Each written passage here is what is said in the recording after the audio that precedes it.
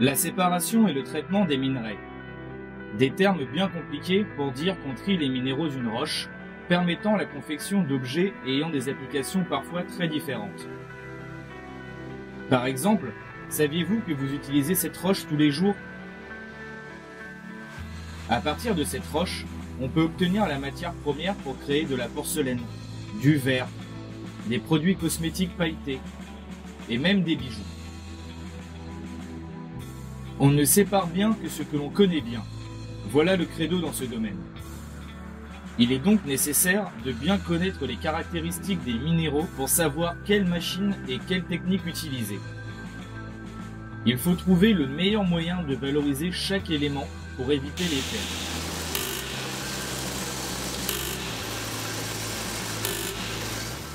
Cette roche est composée de quatre minéraux communs. Des grenats, rouges, du feldspath, blanc mat, du quartz, légèrement translucide, et de la muscovite, d'aspect brillant. Pour séparer les différents constituants de cette roche, on commence par broyer pour obtenir des morceaux plus adaptés au traitement ultérieur. Lors de cette étape, on casse mécaniquement la roche. Grâce à une succession de broyages, on peut réduire une roche d'une vingtaine de centimètres jusqu'à un sable très fin de quelques micromètres. Il existe différents types de broyeurs, comme le concasseur primaire, pouvant traiter jusqu'à 2 tonnes de roche par heure, les broyeurs mécaniques,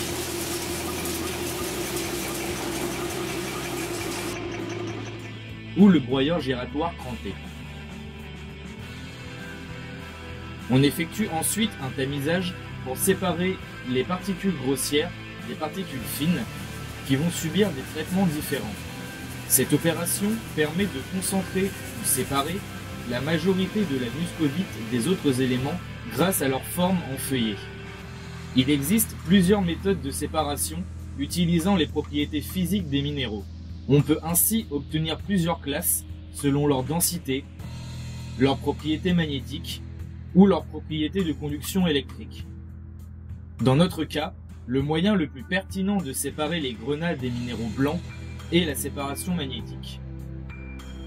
En effet, les grenades sont attirées par les aimants. On dépose les particules sur une alimentation vibrante qui va les faire avancer en une couche fine jusqu'à un tapis roulant.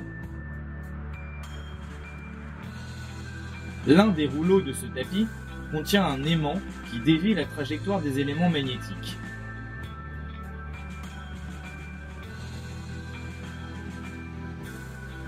Les éléments non magnétiques suivent la trajectoire imposée par la vitesse du tapis.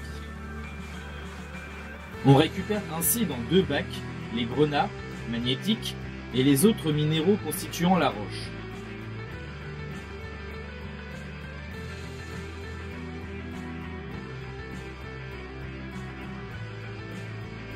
Maintenant, il nous faut séparer les quartz des feldspath et c'est par un procédé physico-chimique qu'on peut le faire la flottation.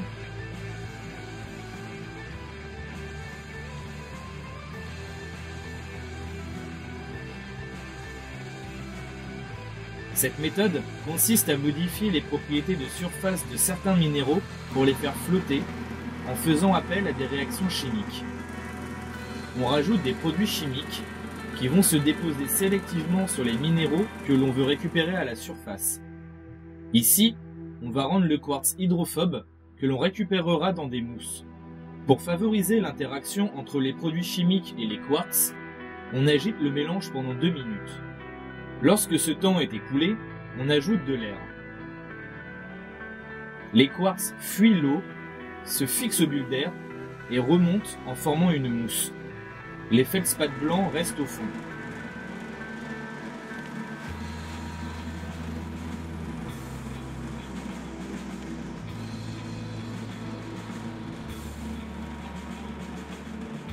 Pour un résultat optimal, il est parfois nécessaire de renouveler plusieurs fois cette opération.